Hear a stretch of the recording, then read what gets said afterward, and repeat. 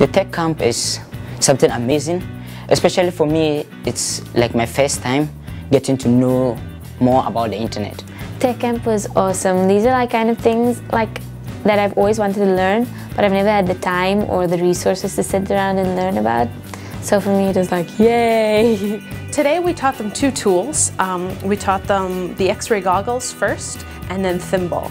Thimble is a is a app or a, I think it's a Mozilla program that allows you to do basic web design, but it makes it simpler so it's easier to understand. It's great just watching them um, figure out how they can play around with the web and not have the web be this static uh, thing that we all thought it was. You know, you just go on there and you view it and you get out. But you can actually go in there and manipulate it and, and actually put a bit of your own flavor or creativity into it. The kids today are so enthusiastic. It's so wonderful to work with a group where, you know, they're just so passionate about different things and you can hear just when they talk about what, what kind of web pages they want to make.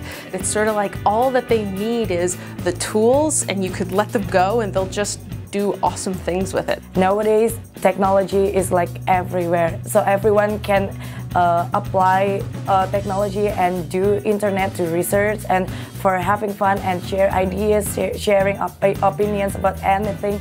For me too, I really want to go into marketing and I think this is a very good opportunity for me. Sometimes when you, know, when you need to propagate or market about an idea or a project, you use social media and internet, and uh, with using this uh, technology, um, you can, it makes it easier for you to um, share ideas and sp spread the word about it. I mean, to think about the web that right up until now, for some of them, it was just something that was, you, you take it as it is. You can't do anything with it. I think a lot of them will go back with that idea that they can change it and create change not only on the web, but apply it across the board in terms of their life.